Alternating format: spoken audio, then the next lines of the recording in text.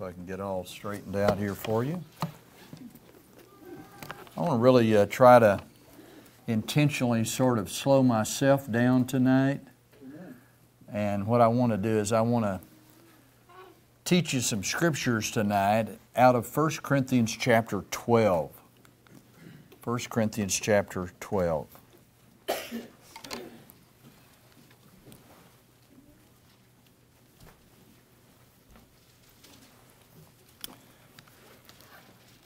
When God uh, came to earth, He took a body. It's called the incarnation, the in flesh coming of God, Jesus Christ. The Word became flesh and dwelt among us, and we beheld His glory. Amen. So there is a there was a body on the earth. Jesus took a body, Hebrews 10 says, and uh, that body was a perfect body. It was a human body. He was the God man. And in that life that you and I couldn't live, a life of perfect obedience, He was taken to the cross and crucified as a perfect sacrifice for us so that you and I could have a perfect salvation. Amen. God took a body. Eventually, uh, after the resurrection, time of uh, ministry for 40 days following the resurrection, there was an ascension, and Jesus in his body ascended to heaven. Ye men of Galilee, why look ye up into heaven? This same Jesus shall come in like manner as ye have seen him go. So he's coming back in a body. So the body of Jesus, born of a virgin, crucified on a cross, put in a grave, resurrected bodily, ascended back to heaven. But before he went to heaven, he made sure that he left a body to represent him on the earth. He left a body is a physical body. It has a spiritual nature to it. And that body is the church.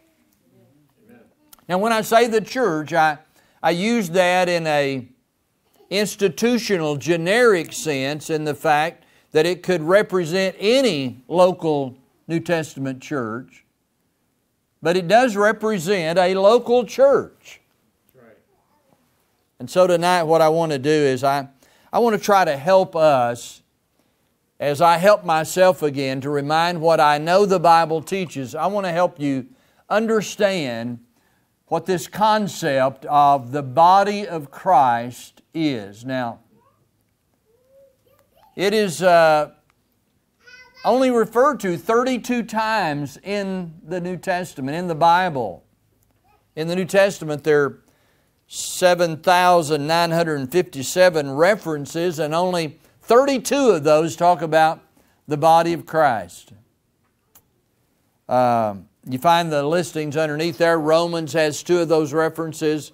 1 Corinthians, where we ask you to turn, has 18. Ephesians has 8. Colossians has 4. There are no other places in the Bible. Now, what's happened in theological schools and in those who are studying the Bible, they usually follow what is called the law of inversion. You probably don't know what that is, but I'll tell you what it is. Quite often, the least that is said about something, the more we want to talk about it. Sort of like the thorn in the flesh. What does that mean? Well, there's not much, there's only one chapter that contains that, and but my goodness, I saw the other day there were hundreds of ideas about what the thorn in the flesh was. It's that temptation to somehow capture something that is not spoken of broadly, and uh, our curiosity sort of gets uh, the best of us. Let's read a few verses together, okay? Here's what I want you to do. You have a King James Bible in your hand or in your phone, or, well, yes, you can turn your phone off. Okay, here we go. Uh, I, I want us to read it. When we come to the word body, I want you to say that out loud, okay? Because I'm going to pause and I'll let you say the word body. And that's going to sort of emphasize for us kind of what we want to see as we read through 1 Corinthians 12, beginning in verse 12. Are you ready? Say amen. amen. All right, here we go. We're reading out loud, and you're going to fill in the blank with the word body. Verse 12 For as the body. is one, and hath many members, and all the members of that one body. being member are one, body. so also is Christ. For by one Spirit are we all baptized into one whether we be Jews or Gentiles, whether we be bond or free, and have been all made to drink into one spirit. For the is not one member, but many. If the foot shall say, Because I am not the hand, I am not of the is it therefore not of the Or if the ear shall say, Because I am not of the eye, I am not of the is it not therefore of the If the whole were an eye, that's kind of a weird thought, wouldn't it be to kind of walk around with this huge eyeball? I mean, you know. If okay, let's excuse me for my distraction there. Verse 17 again. Here we go. Ready? If the whole were an eye, where were the hearing? And if the whole were hearing, where were the smelling? But now hath God set the members, every one of them, in the as it hath pleased him. And if they were all one member, where were the but now are they many members, yet but one. And the eye cannot say unto the hand, I have no need of thee, nor again the head to the feet, I have no need of you. Nay, much more those members of the which seem to be more feeble are necessary, and those members of the. Which we think to be less honorable, upon these we bestow more abundant honor, and our uncomely parts have more abundant comeliness. For our comely parts have no need, but God hath tempered the together having given more abundant honor to that part which, which lacked, that there should be no schism in the but that the members should have the same care one for another. And whether one member suffer, all the members suffer with it, or one member be honored, all the members rejoice with it. Verse, final verse now. Now ye are the body of Christ and members in particular. So let's talk about this passage tonight, and uh, you'll pray for me as I move along in this. First of all, I want to talk about the fact that there is a misunderstanding of the body of Christ. And it falls under these headings. Number one, many people misunderstand the nature of the body of Christ.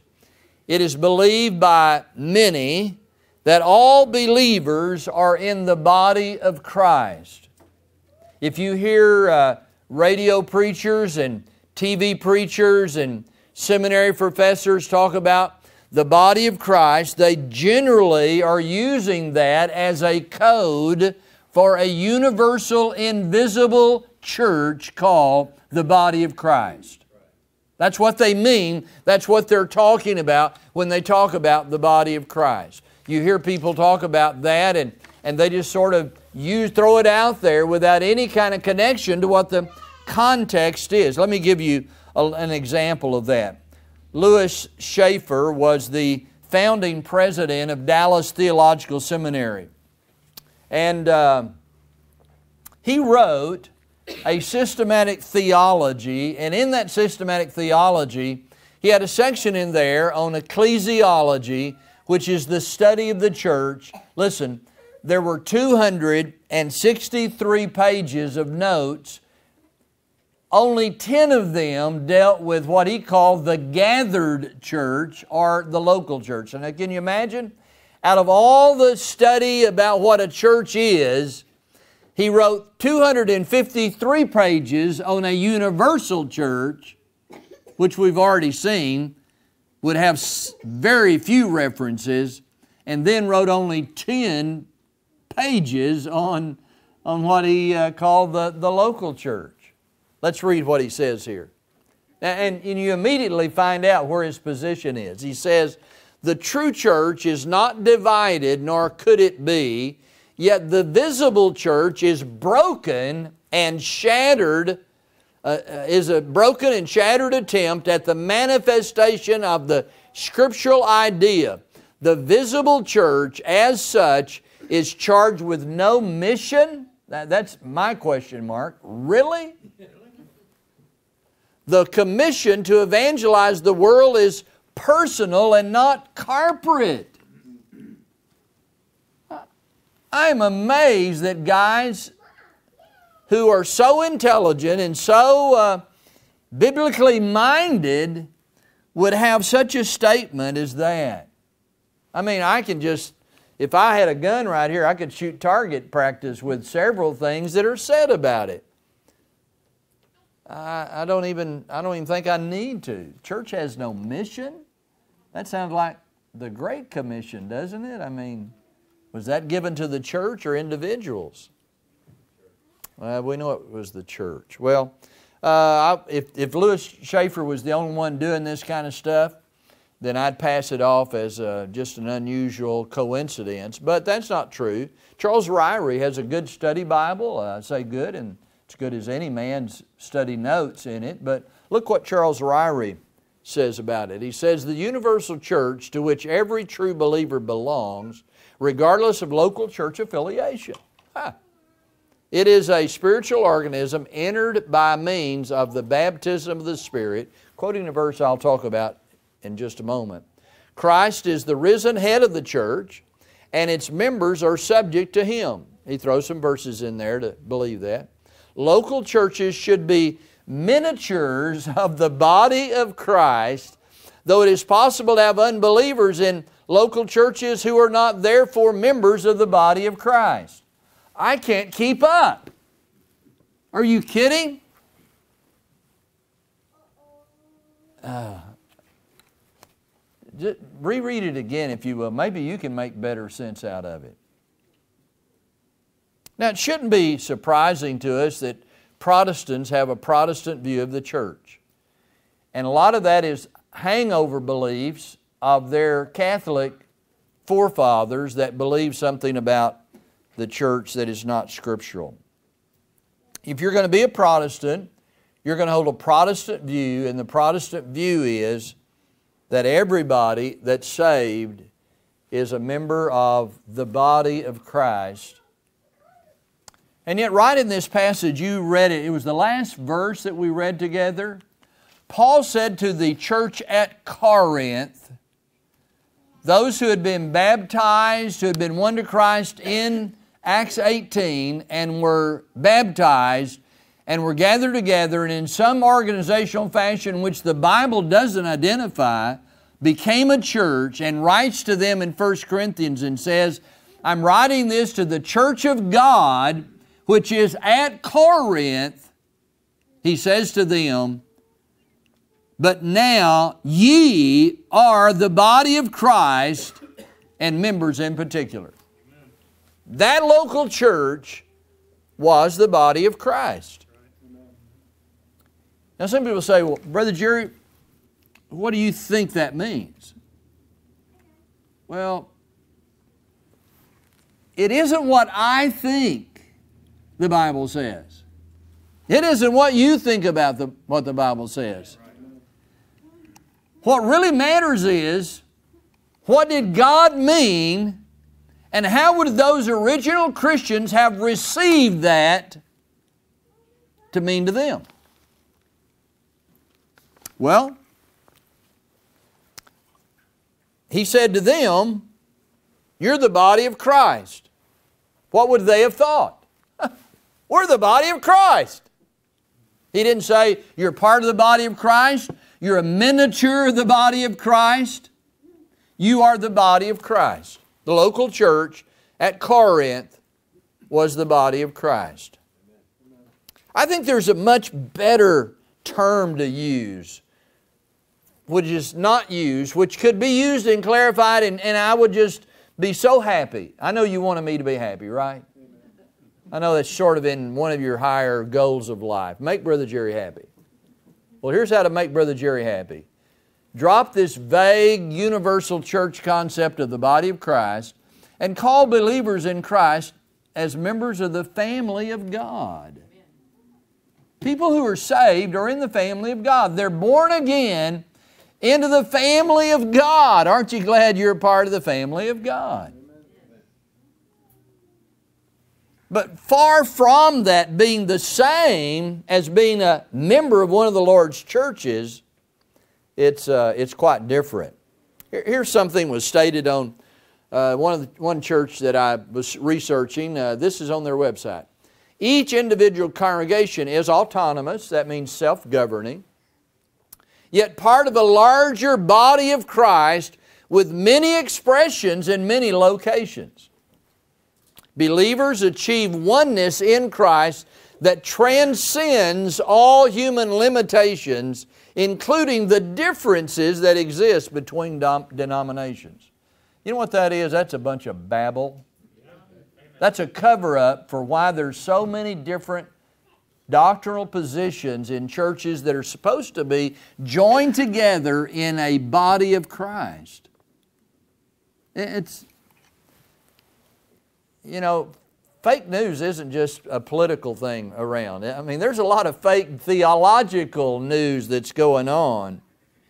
And uh, I wonder how could God be pleased with the kind of things that's going on in all these various denominations when the Bible says He's not the author of confusion. He's a God of order. Uh, uh, hold your place here in 12. And uh, let me just go back to chapter 4 for just a minute. And look at verse 17. You might want to mark this last phrase. Paul, writing to the same church now, says this For this cause have I sent unto you Timotheus, who is my beloved son and faithful in the Lord, who shall bring you into remembrance of my ways which be in Christ. Notice the last phrase as I teach everywhere in every church. You understand what that means? There was consistency by the Apostle Paul in what he taught in every church. Look at chapter 7 in verse 17. But as God hath distributed to every man, as the Lord hath called every one, so let him walk. Notice his last phrase now. And so ordain I in all churches. Now, ladies and gentlemen, the fact is that you and I should have and have to have a central theological base upon which we agree as a church, and other scriptural churches will join you in that common belief. Now, we may not believe everything. They may not believe in white walls in churches. I don't know. They may believe in green walls. They may not believe in, I don't know what color this is, so I'm going to go on. Gray, gray pews. They may, they may uh, believe in chairs. But I'm talking about the core values, the core principles, the core doctrines. There has to be agreement. It's a cover up to say, well, that's what they believe. Let's just let them believe. We're all in the same body. If that were the case, the body would be very diseased, very confused, and very inept. So there's a, there's a misunderstanding about the nature. The nature of the body of Christ is a local church. Now, here's another thing there's a misunderstanding about, and that is many misunderstand the, the head of the body of Christ. The headship of Christ is mentioned in Ephesians 1, chapter 4, chapter 5, where it says that Christ is the head of the church. Usually it is in a it is in a generic or institutional sense where it says that he is the head of the church. But it was all written like in Ephes, like Ephesians to the church at Ephesus. So it's talking to a local church. Now hang in here with me because I want to show you a diagram that may help you. Many misunderstand the headship of the body of Christ like this like Christ is the anatomical head and that people make up a, a body and it's the brain, the mind, the head that, that kind of calls out all of the functions of the body. And, and you find this erroneous idea, I shouldn't have exposed my point already, but you, you, you find this erroneous idea all the time with guys who say, you know, it's, it's, it's Christ who is the head of our church, and as a result of that, we work off of His impulses and we, we do His will, and, and because He's our head. And they're talking about an anatomical brain. What they haven't thought about is this in an anatomical head, it survives as it's connected to the anatomical body. And if it's separated from the body, it ceases to exist. Ladies and gentlemen, Christ is, is not dependent on us for His life. We're, he's not connected to us in a way to where if it's not for us, we, He just is not going to make it. Now, don't get me wrong. We are brought into union with Christ when we're born again. You understand that? We, we came into the world being in Adam, but when we got born again, we were placed in Christ. And if any man be in Christ, he's a new creature. Some of those verses like that tell us that there is a genuine union that we have with Him. But instead of thinking about Jesus being the head, the anatomical head, what we need to realize is that the headship of Christ over the church is not an anatomical but an authoritative head. He is the head, authority over the church. And that's altogether different. I mean, that's, but it's very understandable. Uh, when Henry Ford was alive, he was the head of the Ford Corporation. When uh, Conrad Hilton was alive, he was the head of the, the Hilton Hotel Corporation. When Sam Walton was alive, he was the head of uh, Walmart. So we've got a different concept that's misunderstood quite often. And why is this so important? Because this, this anatomical head is where people tie it to a universal, invisible, all believers in it because they think Christ cannot be the head over many bodies. But He can be the head over many bodies if He's an authoritative head. He's an authoritative head. And He doesn't, He's not dependent upon us for His life. We are dependent upon Him for our life. He is our head. And that's why He can be the head of Victory Baptist Church here in Kingfisher. That's why he can be the head of the church that I'm a member of in Fort Worth, Texas, and he can be a member, he can be the, the head over all true, independent, fundamental, King James, temperamental Baptist churches. Amen? He can be a head over them.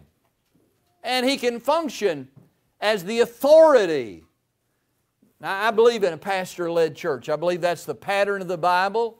I don't think God leaves the leadership of the church to sort of a vagueness and a fog in a church. I believe that the man God puts uh, to lead the church is the pastor. But, ladies and gentlemen, he's not the head of the church.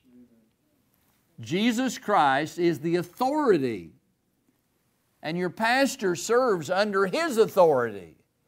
And he has authority indeed. He's God's man in this place.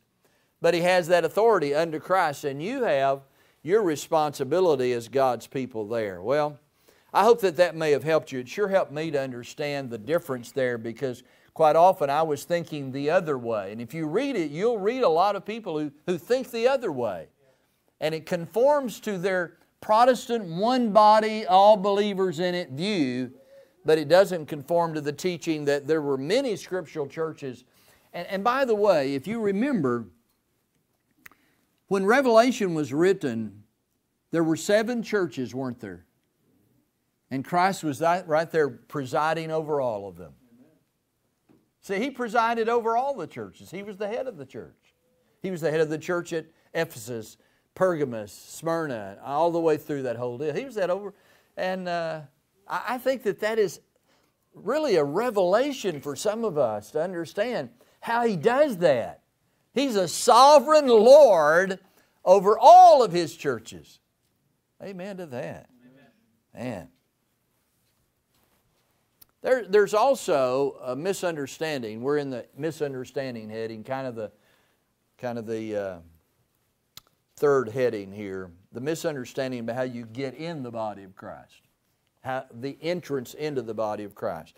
Many teach, again, excuse me, let me go back. Many teach that all believers are baptized by the Spirit into the body of Christ.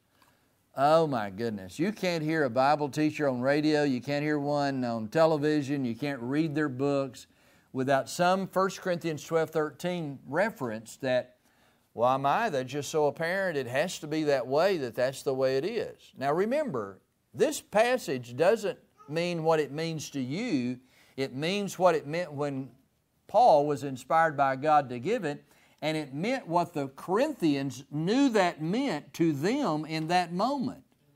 We get our understanding from God who gave it and from those who first received it as a congregation. Now let's read this verse together again.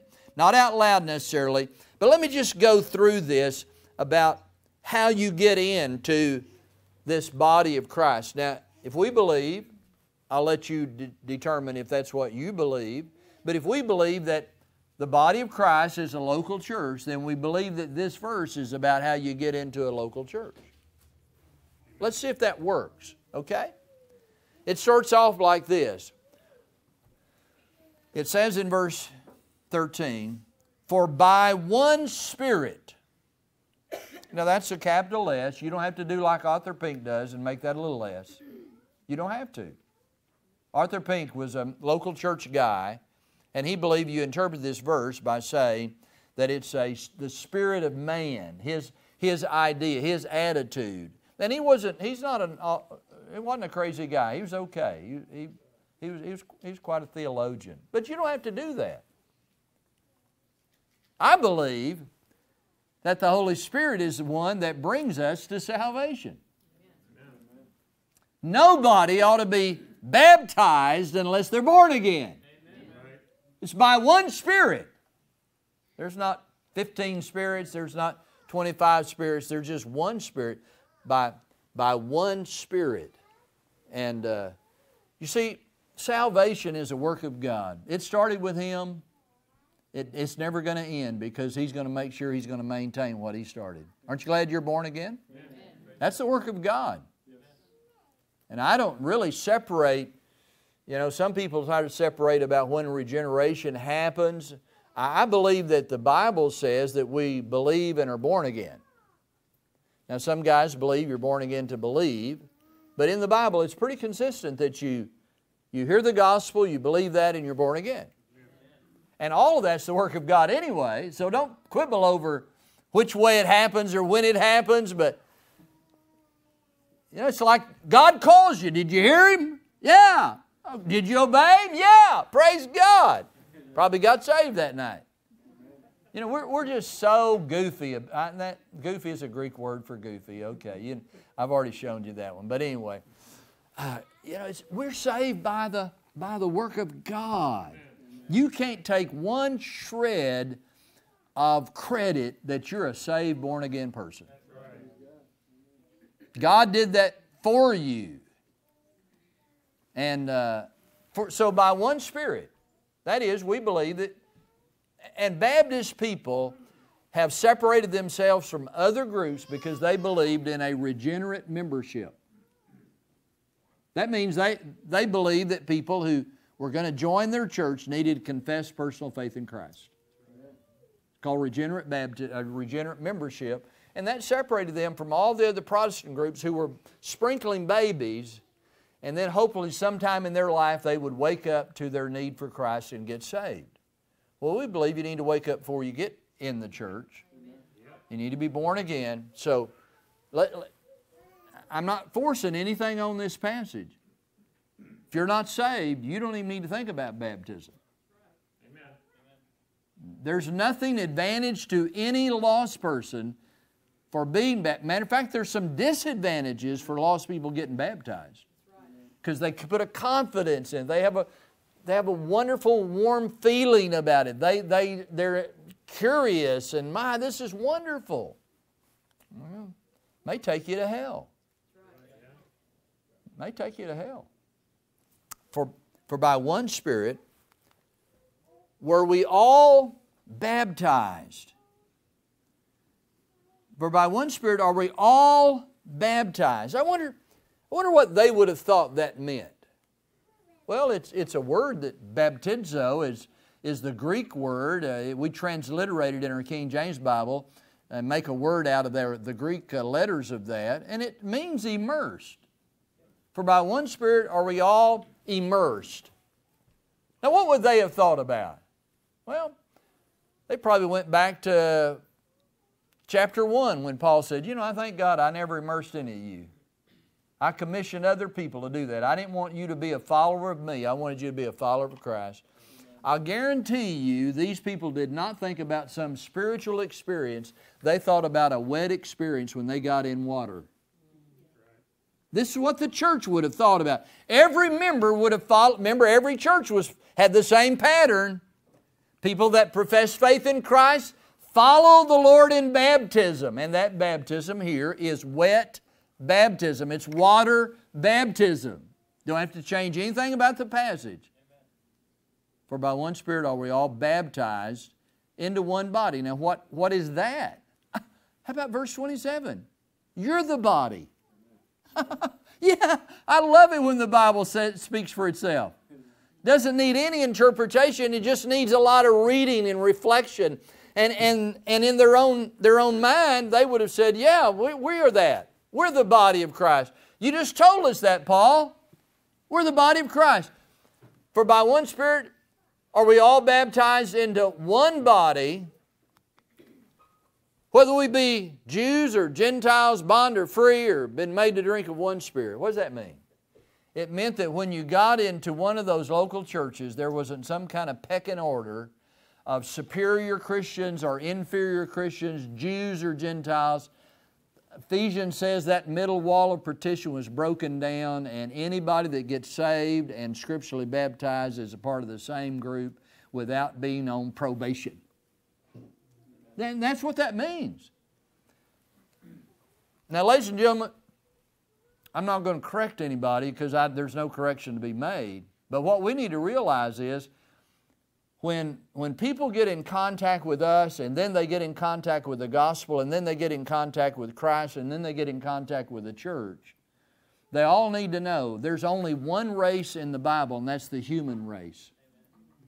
There's not a, a Gentile and and Greek kind of world where we selectively say, you know, Jerusalem had a problem with that until God kind of whooped them out of it. And then finally, they, they got excited about the Gentiles getting the gospel. Now, I know we're all segregated in some ways by our jobs, by our families, by whatever else. But in, in, uh, in God's economy, the gospel is the power of God unto salvation to the Jew first. That's an order to the Jew first and also to the Greek. Your black brother or your black neighbor can get saved just like you got saved. And if we had it all right, they could surely be a member of this church as well.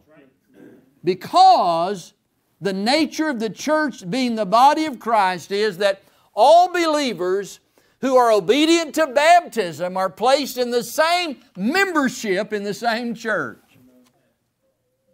We don't have a you know back room over here for those who kind of had a rough life and before they got saved or those of us who were 10 years old and got saved, you know, you get to another part of the church. No. These folks understood in plain language what he was talking about. The body of Christ is a local church. The baptism is water baptism. And you get in that by being obedient to baptism. That's how you join a church. This is basic church membership 101. You get in a church by being obedient after salvation to the authority of a church. Why have we made this so blooming hard? Why, why have we made it so hard? Because a lot of smart people have decided that they're going to listen to the church fathers. I just gag when somebody quotes Augustine or somebody like that. That's a bunch of Catholic theologians. Excuse me, I got that out of my. We just need to stick with the Bible, folks. And don't let somebody remove you from your faith about what you know you believe based on the fact of their education or they can quote more sources or whatever else. We need to know passages like 1 Corinthians 12 well enough that we can defend the faith based upon what the Bible says, not what somebody else says about the Bible. Amen. So let's go on now. Let's, let's, uh, let's talk about you now. Because the Bible, not only in this passage, talks about the body, which is the collection of those who are a part of that, but it talks about the members of the body of Christ. Any members of the body of Christ, Victory Baptist Church here tonight? Good, let's talk together then. Let's talk about it a little bit. If you'll notice that in the 7,957 verses in the New Testament, there are only 19 verses in the New Testament that refer to believers who've been obedient to baptism being members of the body of Christ. Those three books right there, Romans, 1 Corinthians, and Ephesians, uh, tell us about those who are members. And since you're one of those here, just kind of put a quarter in the parking lot, parking space here, and let's talk a little bit. Let's talk about you. Let's talk about your responsibilities, your privileges. Now, isn't that a privilege to not only be in the family of God, but to be in the church of God, which is the body of Christ? It's a privilege. Nobody drug you in here and tied you up and force fed you and made you stare in some kind of weird thing and now you sort of walk around in a daze. You willingly made this commitment of your life to Jesus Christ and to the truth that you had heard, which was that there was a church that God had not only started during His own ministry, but had perpetuated for 2,000 years, and that if you were going to be obedient, you needed their baptism, and in their baptism, you would find the freedom to be a part of a body of Christ in your community. So, what does that mean? Well, for one thing, it means that uh, there's some identity that goes on here. You are members of the body of Christ. It's pretty special. I think membership in a church is maybe one of the highest blessings you can get on this earth. To be a member of one of, the God, one of God's churches. It's really a, about who we are. That we, we have our identity in Christ and we have assembled together and we are bonded together in a body called the body of Christ because we think that he is worth all of our lives. It's who we are. It's an identity issue. It's also about unity. Can you imagine a body functioning without a sense of coordination? Now, I know some of us go through life. Later on, I, you know, I'm, I'm, uh, I'm still kind of on my feet and kind of agile and mobile and hostile and uh, whatever else. But, uh, you know, the older you get, the more you kind of are careful about how you're getting around and stuff. Well, in the case of a Christian, there should be some coordination, some unity. You ought to be doing some things, you ought to be doing some things, but we ought to be doing those things together. And there ought to be, there ought to be some real connectivity in our, in our church. Now, this size church, I, and, and I don't mean that in any kind of derogatory way at all, this, this, you can't hide out in this kind of church. I figured it out. Matter of fact, I know most of you by name. I've figured out who you are, who you connected to, and there's a lot of family in this church. I'm telling you, y'all got married together and brought this thing in church.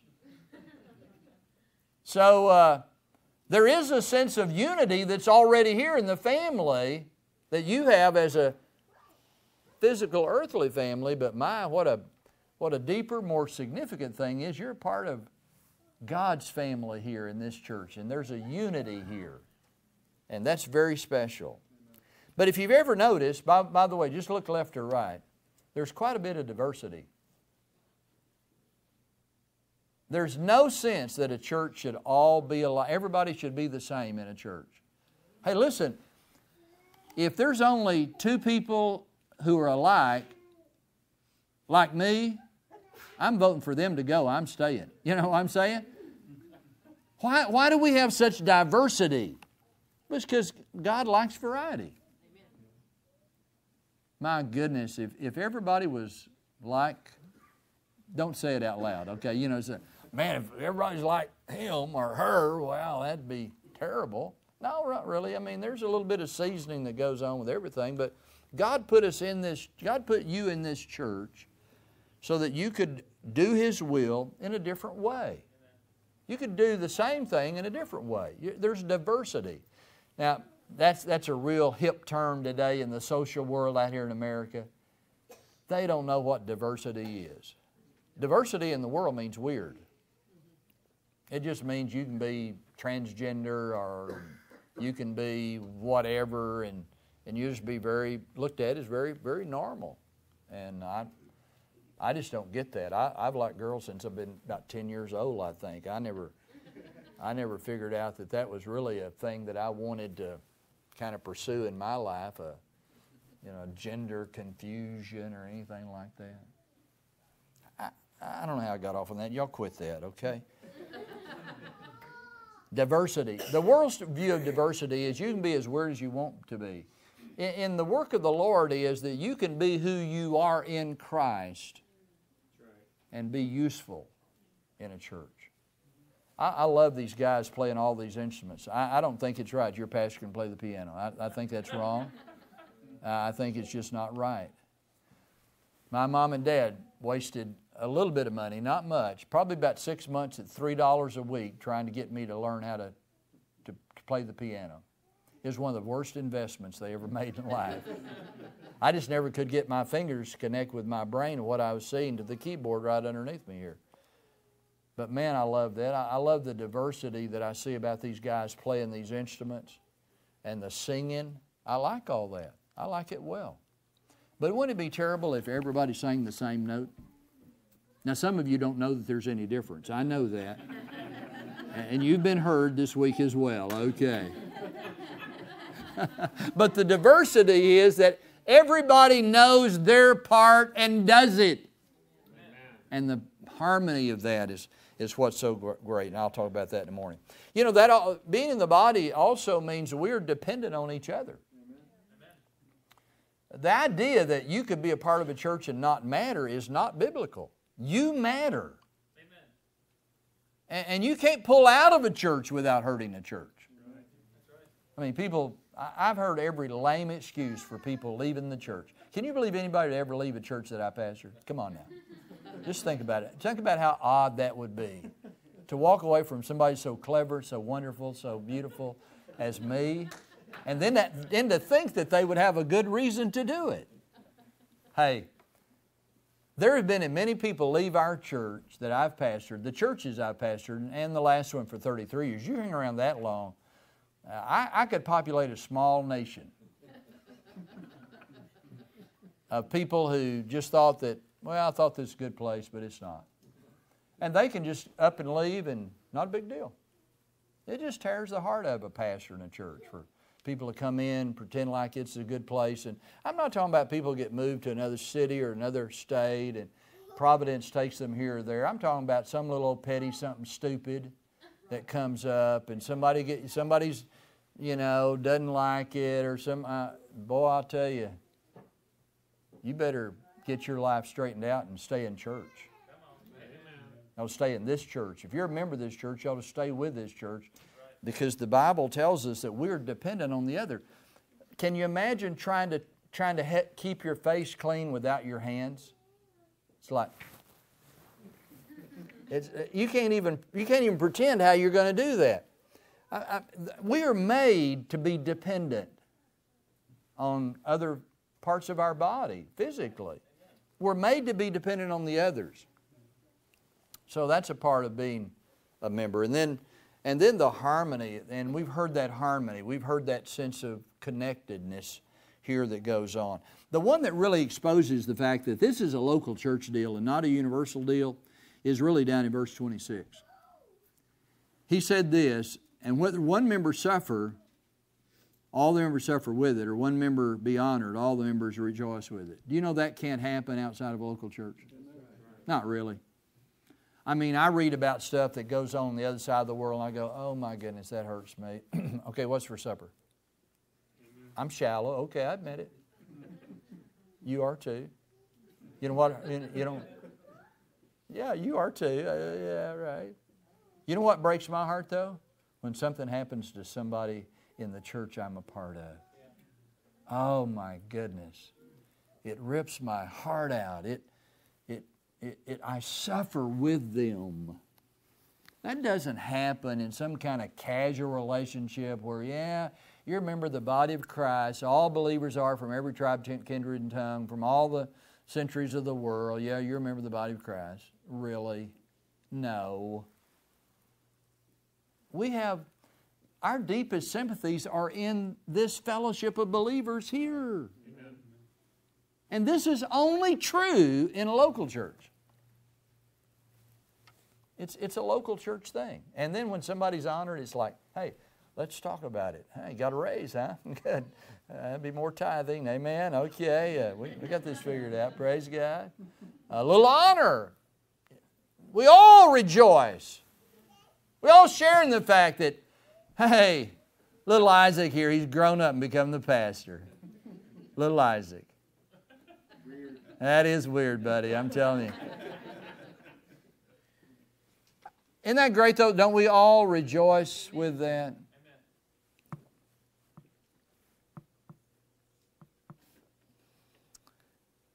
I never thought about being the pastor where my dad pastored. I never thought about being the pastor of the church where I got saved and got baptized and got ordained to preach and got married in. I never thought about being able to be the pastor there. And they have been so gracious to me and my wife and my family. You know why? Man, we just suffer together and rejoice together. The highest elevation of accomplishment and the deepest sorrow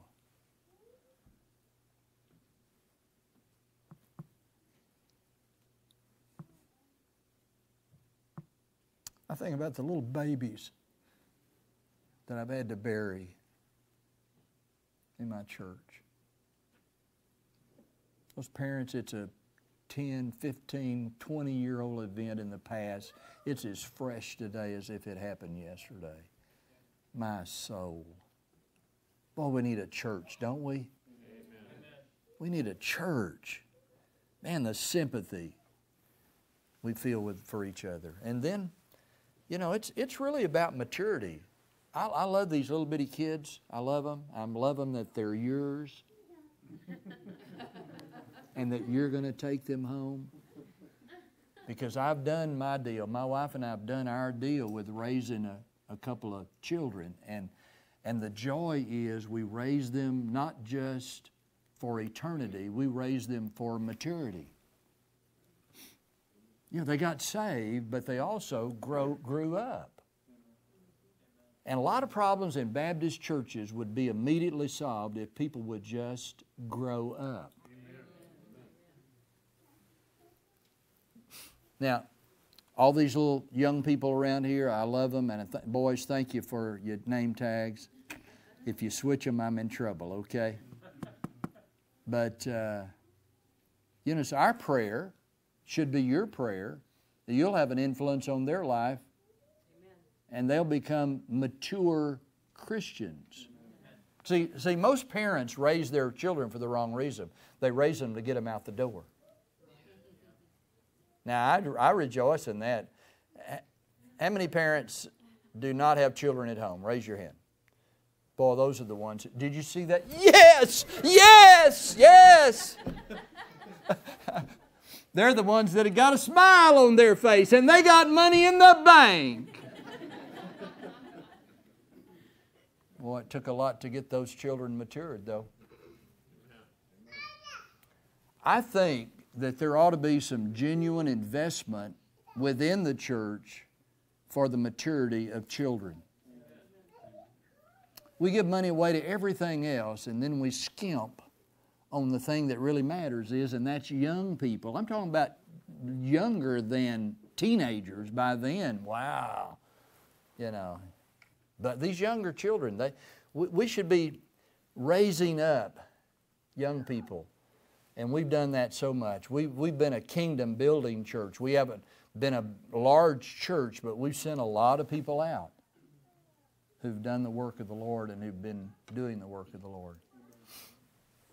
Well, ought to be some maturity here. And uh, thank God. Now I know you don't. I know it doesn't look like it, but I'm a bodybuilder. That's really tacky of you laughing out loud. I, I, can take a snicker here or there, but just this out. Uh, yeah. We enjoy this moment, but I'm going to turn the table on you. Does anybody think you're kind of putting on some spiritual muscle in your life? I mean, do, do, do people snicker at you when you say, Yeah, I'm one of them Bible persons?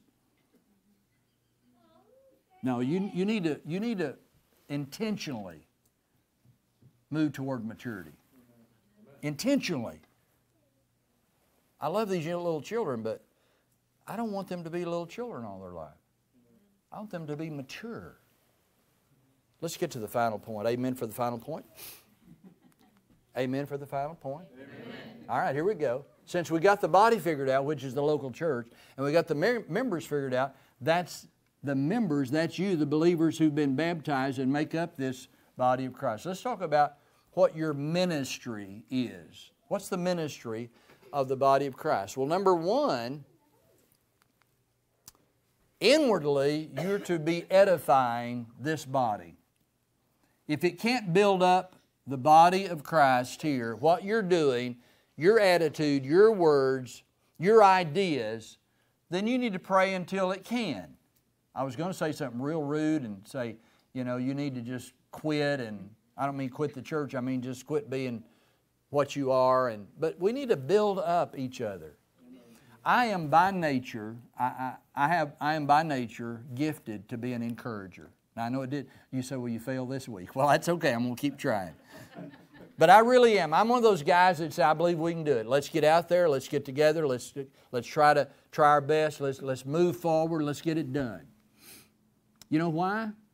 Because there's enough naysayers out there beating us down. We need to come in this place and believe by the grace and help and power of God we can do something as a church. Amen.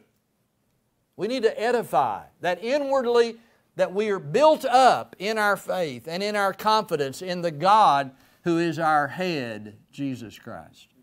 That, that's one of our ministries. And then outwardly, we are to be a part of reaching our community. Now, now we send money around, you know, across the sea, but what about across the street? What about people you know that you, you know you need to have a burden for them? God's ordained the means whereby people are going to be saved, and that is the sharing of the gospel. What we need to do as, as churches is we need to find ways that we can have an influence into people's lives.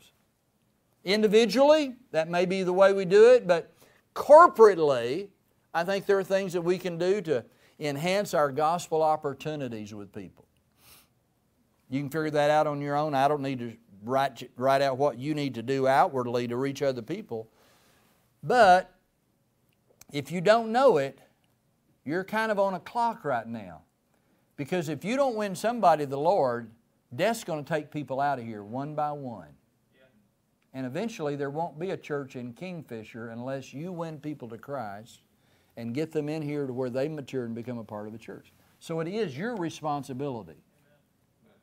Now, and some of that is uh, good preaching and pray for your preacher to, to uh, keep uh, preaching and being an earnest uh, uh, disciple of God's Word. And, and some of that is a fellowship opportunity. Some people just stumble in here and they have no idea what we are. And they're, they're not hearing a thing, they're just going, What does that mean, stand up? Well, it kind of means stand up. You know, and, and so we're going to have to be patient with people that don't know this church deal. And don't be rude. I, I, I had guys that were that came off the street and they, they had a cap on and, and they were visitors and they didn't know that you don't wear caps inside the house. You know, that it, it, it's not rude on their part for them to wear a cap. It's rude on our part to, to not get over that. I, don't mean that we don't have any standards, that we don't care, but the world doesn't know what the rules are in here. So we need to be, we need to be reaching out to people that, that maybe don't look like us. Amen to that. That'd be good. And uh, because all the spirit filled, uh, dynamic people, they've already been saved. There's nothing but sinners out there right now. All the sinners are just left out there, and we need to we need to reach them. So, I think Kingfisher still got some sinners, don't they? I thought they did. I, I, I get on a plane quite a bit, and I remember years ago I got on a plane, and a little stewardess said to me, "Well, how's business today, sir?" And I said, "Man, business is great." And uh, she came came back to me later, and she said, "What kind of business you in?" I said, "I'm a preacher, and there are plenty sinners out there." and she and I talked and had a great visit. But I remember how the fact that we think there's not anybody out there that wants what we got. Everybody out there needs what we have. That's the gospel. And, and somebody, God used somebody in your life to bring you the gospel. We ought to pray that may be us. And then finally, upwardly, this body is all about the glorification of God. Unto Him be glory in the church by Christ Jesus throughout all ages, world without end. I wonder, I wonder if most churches could survive without any personal recognition. You know, didn't have any anybody's name in the bulletin, any thanks for uh, you know thank you card for any thoughtful thing done. It's like, well, I did that, and nobody nobody said I did a good job singing today. Well, your singing was okay, but your attitude evidently was bad. You're not here to glorify yourself. Amen. Here to glorify God. Amen. Just glorify God. And uh, I really, we really ought to want Him to get all the glory and all the praise and all the credit. We'll take all the blame. We deserve all that. But my goodness, if we just start praising Jesus, thanking Him for His goodness to us. Well, amen. Stand with me for prayer. Maybe there's a need in your life that you could just say, you know, I haven't, I haven't been the church member that I could be, and and I, I just need to dedicate myself to that, and my family needs to be more church conscious about what we are. We, we're the body of Christ.